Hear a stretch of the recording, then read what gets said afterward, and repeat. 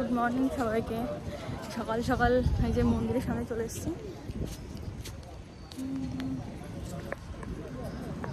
জয় Jagannath good morning বলে আজকের ভিডিওটা আমি শুরু করছি। তো সবাই কেমন আছেন? আমি কিন্তু বেশ ভালোই আছি।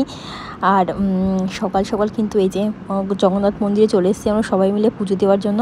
সকাল সকাল বলতে কিন্তু এখন অনেকটাই সকাল। দেখুন ঠিকঠাক মানে সকালের আলোটাও ঠিকঠাক ওঠেনি। ভিড় হয়ে যাবে সেই ভয়ে। আর গরমও পড়ে যাবে, সেই ভয়ে তাড়াতাড়ি পুজো দিতে চলে এসেছি। তো ফোন টোন রেখে এখন যাচ্ছি পুজো। মানে ফোন টোন রাখব, তার আগে একটু ভিডিও ক্লিপ নিয়ে নিলাম, কারণ ফোন মানে ফোন তো ভিতরে অ্যালাউ নেই।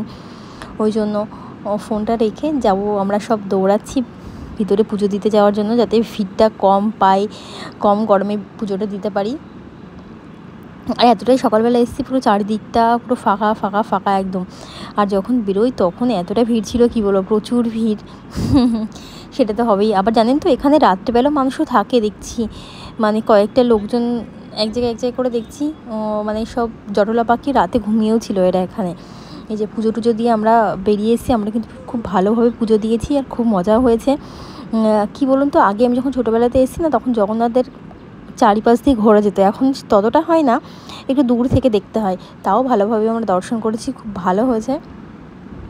অনেক দিনের ইচ্ছা ছিল যে আমরা ছজন মিলে আসব, সেটা পূর্ণ হয়েছে। জয় মানে জগন্নাথের কৃপায়। তো আমরা তো প্রচুর মজা পেয়েছি। এখন যাব রুমের দিকে। কারণ রোদ উঠে গেছে তো, এই সকালে রোদটা উঠলে এতটা কষ্ট হয় আর সব- সবাই না খাওয়া অবস্থায়। ঘরে যাব, ঘরে গিয়ে চাটা মুড়ি টুটি খাব, তারপরে সমুদ্রে যাব একটু সবাই মিলে। আমার ভিডিওগুলো আপনাদের কেমন লাগছে অবশ্যই কিন্তু জানাবেন, তাহলে খুব ভালো লাগবে। আর এখন থেকে আশা করি কন্টিনিউ ভিডিও দেব। এখন বাড়িতে আছি আমি। বাড়িতে থাকব কিছুদিন মানে দশ বারো দিন, পনেরো দিন মতন থাকব। আবার ব্যাক করব লাদাখে।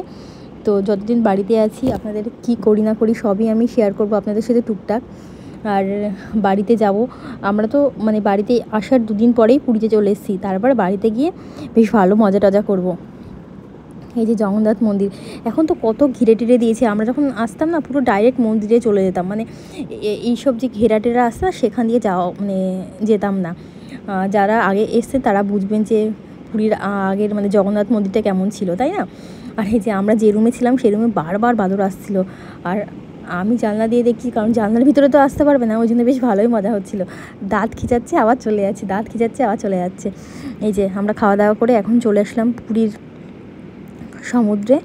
তো দারুণ মজা করেছি। এটাই চেয়েছিলাম যে সবাই মিলে একটু আনন্দ করি, মজা করি। বাঙালি মধ্যবিত্ত হলে যা হয়। মানে প্রচুর মজা প্রচুর মজা এতে।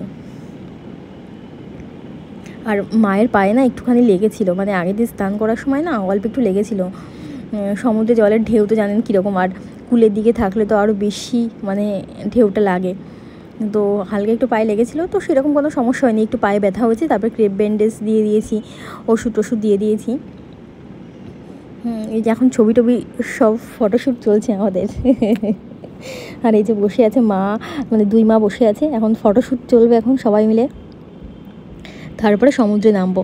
আজকে আর খুব একটা বেশি স্নান করব না, প্রচুর ভিড় আর সমুদ্রের ঢেউটাও অনেকটা মানে একাদশী ছিল তো সামনে ওই জন্য ঢেউটাও খুব মানে অতিরিক্ত ঢেউ। এখন এই যে ছবি টবি তুলবো বলে সব পরিপাটি চলছে। আর আমরা সবাই মিলে ঘুরে না এত মজা পেয়েছি, সবাই আবার বলা হচ্ছে, না, আবার আসব আবার আসব। কী বলুন তো, যতদিন লাদাখে আছি না, এদিক ওদিক ঘোরাটা খুবই সমস্যা, এতটা দূর না। কাছে পিঠে চলে আসলে দিল্লি, বেনারস, এই সাইডে চলে আসলে না বাড়িতেও আসতে পারব, সবাইকে নিয়ে একটু ঘুরতেও পারব। সেই দিনের অপেক্ষায় আছি, কবে যে এদিকে আসব। লাদাখে এমন একটা জায়গা, ভগবান মানে চণ্ডীগড় দিয়েছিল, ঠিক আছে। লাদাখ পাঠিয়েছিল সেই একদম বিদেশে থাকার মতন অবস্থা আমাদের। সে, এবার তো তাও দু মাসে বাড়িতে এসেছি। আগের বার তো আট, ন মাস পরে তারপরে বাড়িতে এসেছিলাম। অনেক কষ্ট ওখানে থাকা সব কিছুর অভাব। সে নাই লাদাখের গল্প পরে করব, এখন পুরীর গল্প করে নিই। যে দুই বাবা নেমে পড়েছে আর ও একদম নামবে নামবে প্রস্তুতি নিচ্ছে। আমাকে বলছে, চলো চলো চলো। আমি বলছি, না, আমি আজকে বেশি নামবো না, আজকে আমি ছবি টবি তুলি। কারণ পরের দিন তো আবার কালকে চলে যাব। ওই জন্য আজকে ছবি টবি তুলছিলাম। বলছি, তোমরা নামো, তোমাদেরকে আমি ভিডিও করে দিচ্ছি। আর কি ভালো লাগে সমুদ্রের ঢেউ, তাই না? আগের দিনও বলেছি যে সমুদ্র এমন একটা জায়গা না মানে যে হাসবে না, সে সমুদ্রে গিয়ে অটোমেটিক তার হাসি বেরিয়ে যাবে ঢেউয়ের জন্য। এত ভালো লাগে দেখতে। দেখুন একই ফ্রেমে জামাই আর শ্বশুর। এত এই যে আর এদিকে আছে আমার আমার শ্বশুর বাবা এই যে তিনজনে কিন্তু দারুণ মজা করছিল, দারুণ, এই যে। তিনজন একসাথে দারুণ মজা করছিল। আমরা তিনটে মহিলা নামিনি, ওরা তিনটে লোক নেমেছিল, নেমে মজা করছিল। আমরা না এদিক মানে পুরীতে এসে সাইট সিন খুব একটা দেখিনি। মানে উদয়গিরি, খণ্ডগিরি, তারপর সূর্য মন্দির এই, এইগুলো না ঘোরার মানে ভাবছিলাম বাড়িতে থেকে যে ঘুরবো ঘুরবো। তারপরে এখানে এসে সমুদ্র আর জগন্নাথ মন্দির থেকে এতটাই ভুলে গেছি আমরা। ওই জন্যে আর ওই দিকগুলোতে যাওয়া হয়নি। এবার দুই মারা প্রচুর বার মানে আমার শাশুড়ি মা একবার এসেছে আর আমার মা দুই, তিনবার এসছে। ওই জন্য ওদেরও অত আগ্রহ ছিল না। যাওয়ার জন্য। ওই জন্য আর গেলাম না। আমরা তো আসবোই, ঘুরতে পারব। ওই জন্য ওদের কষ্টের জন্য আর গেলাম না। কারণ এখান থেকে আবার বাসে করে যেতে হবে। ওদের গাড়িতে মাড়িতে ওঠা খুব কষ্ট। ওই জন্য আর গেলাম না। এই আশেপাশে টুকটাক একটু ঘুরছিলাম। এখন এসেছি গুপ্ত বৃন্দাবন। জায়গাটাও খুব সুন্দর করেছে। ভালো লাগছে দেখতে। এসছিলাম তো বিকালবেলা। মানে ওই দিনই বিকালবেলা এসেছিলাম। পরদিন তো আবার বাড়িতে চলে যাওয়া খুব সুন্দর করেছে। মানে এই যে এরকম পুতুল পুতুল দিয়ে, বেশ এই জায়গাটায় আমি কখনো আসিনি আগে, ওই জন্য এই জায়গাটা নতুন করেছে তো, ওই জন্য আবার ঘুরতে আসলাম এখানে। তাছাড়া মাসির বাড়ি, পিসির বাড়ি, এগুলো আমি প্রচুরবার ঘুরেছি।